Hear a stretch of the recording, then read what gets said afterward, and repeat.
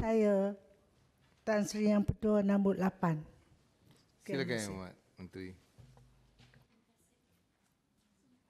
Terima kasih Tan Sri Yang Dipertua, terima kasih Yang Berhormat Senator. Datuk Yang Dipertua, Dewan Bahasa dan Pustaka sebagai sebuah agensi di bawah Kementerian Pendidikan Malaysia turut berperanan sebagai penerbit buku terbesar bagi melaksanakan maklumat mengembangkan bahasa dan persuratan Melayu serta membantabatkan dan menyebarkan ilmu pengetahuan bagi pembinaan tamadun bangsa bagi menyahut seruan, seruan serta saranan KPM supaya Dewan Bahasa Pustaka meningkatkan peranan penyebaran ilmu khususnya dalam bidang bahasa dan persuratan Melayu di peringkat dunia dan antarabangsa, DBP telah membuat penilaian semula terhadap perancangan program dalam bidang keberhasilan utama BKU bagi tahun 2016 hingga 2020 dalam Plan Perancangan Strategi DBP terutama yang berkaitan dengan peningkatan pasaran industri buku. Dari segi perdana, perdanaan, Kementerian Kewangan Malaysia telah meluluskan peruntukan kepada DBP sebanyak 10 juta bagi menggerakkan industri buku negara pada tahun 2007. Dana ini dikenali sebagai Dana Penggerak Industri Buku Negara. Pada tahun 2008, kerajaan menyuntik dana tambahan sebanyak 7.5 juta ringgit sehingga November 2018 sehingga uh, sebanyak 8 juta RM377,115.82 telah diagihkan kepada penerbit yang berkelayakan dan jumlah judoh yang telah diterbitkan menggunakan peruntukan dana tersebut ialah sebanyak 430 judoh. DBP masih meneruskan pemberian dana ini kepada penerbit yang berkelayakan.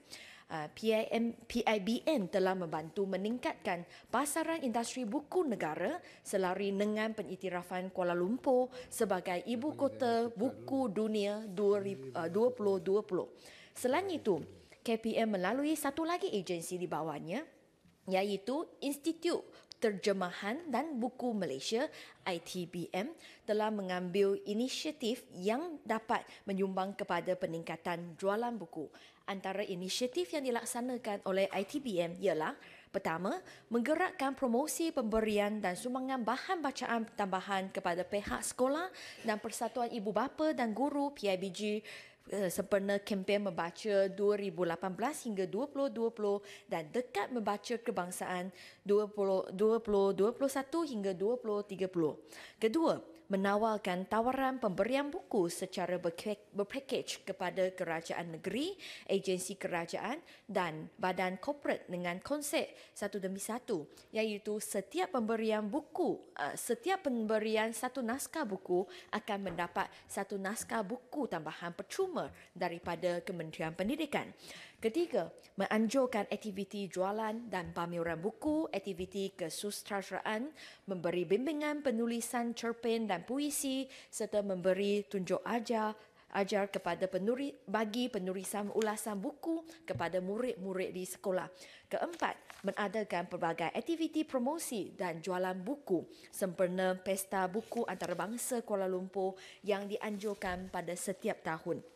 Berhubungan pendanaan kepada ITBM, KPN akan memohon peruntukan dalam Belanjawan 2020 dan Rancangan Malaysia ke-12 eh, untuk memberi insentif kepada ITBM yang berperanan sebagai salah satu badan pegawai pegawai kualiti standard bahasa kebangsaan bagi menjayakan program kempen membaca. Sekian jawapan saya. Terima kasih. Terima kasih, Yang Menteri. Silakan soalan tambahan, Muhammad. Tan Sri Yang Dipertua, terima kasih kepada Yang Berhormat Menteri yang begitu lebar bagi jawapan kepada saya. Cuma soalan yang saya nak tanya, dalam kementerian bersiap sedia untuk menganjurkan pesta buku antarabangsa pada tahun hadapan dan juga Kuala Lumpur sebagai kota buku dunia, adakah buku-buku yang tertunggak untuk dicetak sebagai contoh buku yang telah berada di pinggir di peringkat akhir penerbitan tetapi disebabkan masalah keuangan buku-buku tersebut tak dapat dicetak. Adakah kementerian sedia menubuhkan jawatan kuasa khas dalam membantu mempromosi dan mengedar lebih banyak lagi buku-buku sebelum tiba acara gemilang ini. Sekian, terima kasih. Terima kasih. Terima kasih Tan Sri Speaker, terima kasih uh, Puan Sophia uh, yang berhormat Senator. Uh, seperti yang saya sebut tadi, kalau memang ada buku-buku yang sudah hampir siap, hampir uh, siap sedia untuk penerbitan tetapi menghadapi isu dari segi dana, mereka memang boleh buat permohonan kepada Dewan Bahasa dan Pustaka untuk mendapat dana penggerakan industri buku negara. Uh, walaupun peruntukan sebanyak 17.5 juta ringgit telah diperuntukkan sejak tahun 2007 sehingga sekarang, duit itu, dana itu belum habis di, di, dipergunakan lagi. Setakat November tahun lalu, kita hanya meng, uh, sudah menggunakan uh, 8.3 juta ringgit. Jadi mas, masih ada satu dana sebagai uh, sebanyak 9 juta ringgit yang boleh dipohon oleh penerbit supaya mereka boleh dapat uh, dana daripada DBP untuk membantu membantu mereka untuk membuat uh, uh, penerbitan. Dan permohonan ini memang terbuka kepada sesiapa penerbit. Asalkan bahan bacaan ini adalah dalam bahasa Melayu dan saya di, uh, nak bagi contoh di sini buku untuk buku ilmiah uh, mereka boleh pohon dana sebanyak RM30,000 untuk biografi, autobiografi atau memeo, eh, mereka boleh pohon dana sebanyak RM20,000 dan uh, kita juga harap bahawa melalui dana ini kita boleh membantu bukan sahaja penerbit tetapi pada masa yang akan datang kita akan memperluaskan lagi supaya penerbit yang menerbitkan buku itu juga akan daripada dana yang mereka dapat ini boleh memberi sedikit uh, sumbangan kepada penulis sebagai satu galakan kepada mereka. Jadi saya rasa uh, hasrat kita um, setakat 2017 uh, Malaysia menerbitkan uh, penerbitan kita adalah sebanyak 19,713 uh, judul uh, pada tahun 2000 uh, 17. Hasrat kita ialah untuk tahun depan kita berhasrat untuk menerbitkan 31,700 jodoh buku. Jadi ini adalah seraras dengan hasrat kita untuk menjadikan Kuala Lumpur sebagai kota buku dan juga pada masa yang sama meningkatkan penerbitan kita. Jadi di sini saya memang menggalakkan penerbit-penerbit untuklah membuat permohonan kepada Dewan Bahasa Pustaka supaya mereka boleh dapat um, dana penggerak industri buku negara ini. Terima kasih. Jawatan kuasa yang Amat. Uh, jawatan kuasa setakat ini kita tak ada kerana ini memang tanggungjawab uh, Dewan Bahasa Pustaka. Jadi di bawah uh, Dewan Bahasa Pustaka mereka akan membantu penerbit-penerbit. Terima kasih. Terima kasih. Boleh itu. Ini kita punya Tuan Haji belum tanya soalan lagi. Terima kasih Tan Sri Ketua. Soalan saya ringkas saja. Sejauh mana peranan kerajaan dalam um, memanfaat dan memasyarakatkan tesis sama ada master atau PhD yang banyak dihasilkan sama ada dalam dalam negeri atau luar negeri. Setahu saya tesis tesis ini tak dimasyarakatkan. Jadi terbiar begitu saja. Sejauh mana peranan kementerian dalam memasyarakatkannya. Sekian terima kasih. Silakan. Terima kasih uh, Tan Sri uh, Speaker, terima kasih yang berhormat Senator uh, Haji. Uh, saya rasa saya saya um, menyebut baik cadangan tersebut dan saya rasa ini juga salah satu cara di mana dana penggerak industri buku negara ini boleh digunakan. Kerana di dalam kategori buku ilmiah, tesis ini memang terjatuh dalam kategori ini.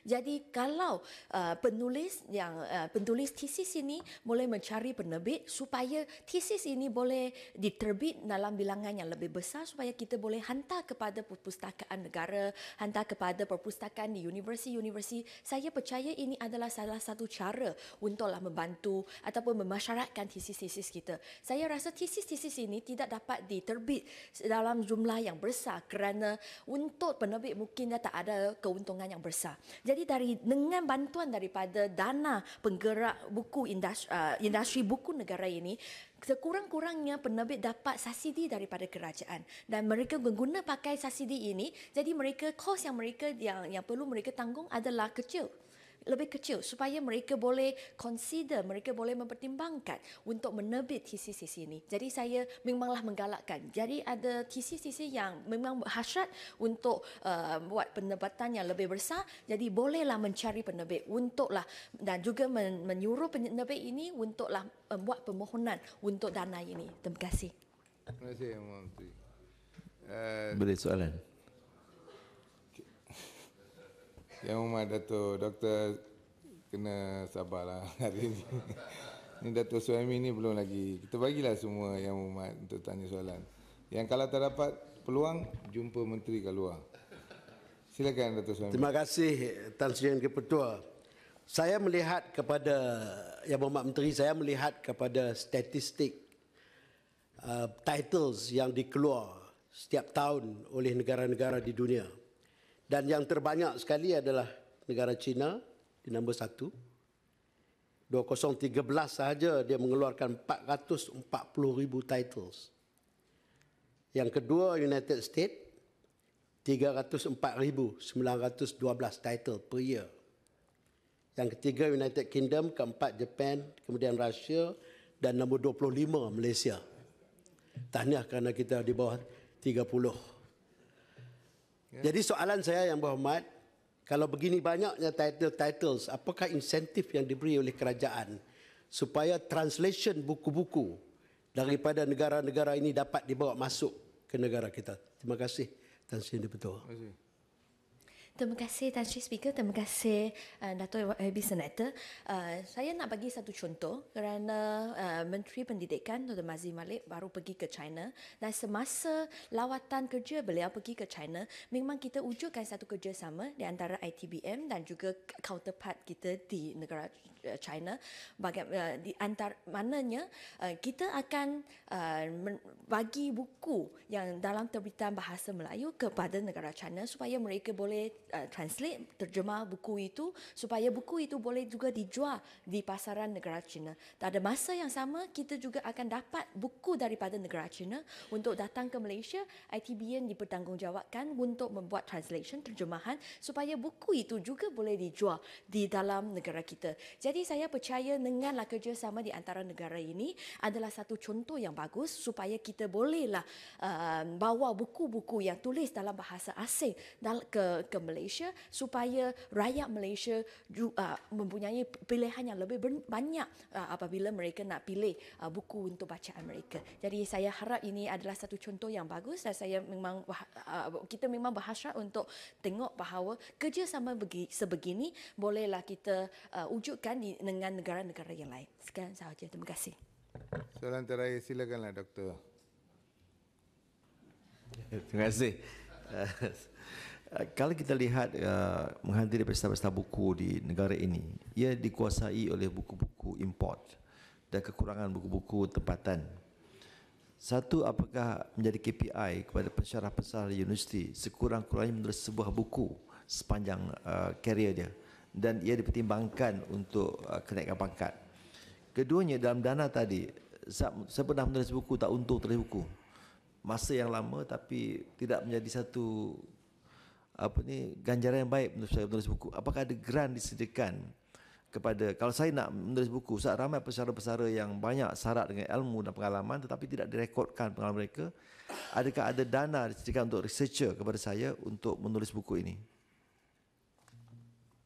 Terima kasih. Seperti yang saya sebut tadi, um, KPM memang telah menetapkan satu hasrat ataupun untuklah uh, menerbit sebanyak 31,700 jodoh buku pada tahun 2020 berbanding dengan penerbitan kita pada tahun 2017 hanya 19,700 13 uh, judo. Jadi kita memang ada satu KPI di mana kita nak meningkatkan penerbitan um, uh, buku Malaysia.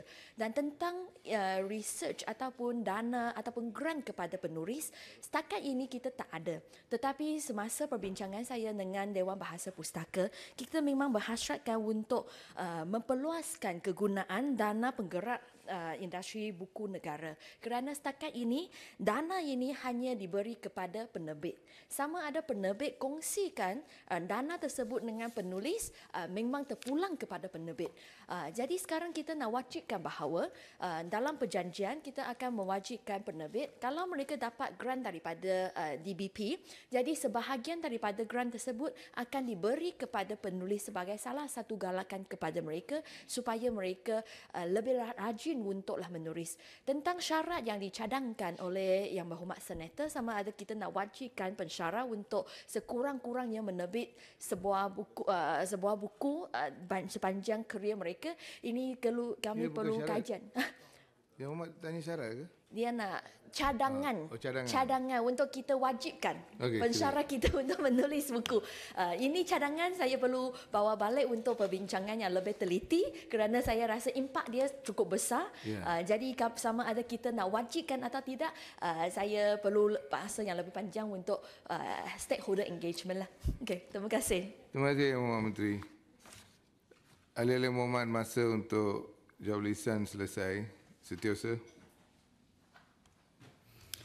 Aturan Urusan Mesyuarat dan Usul-Usul DR 13 2019 Rang Undang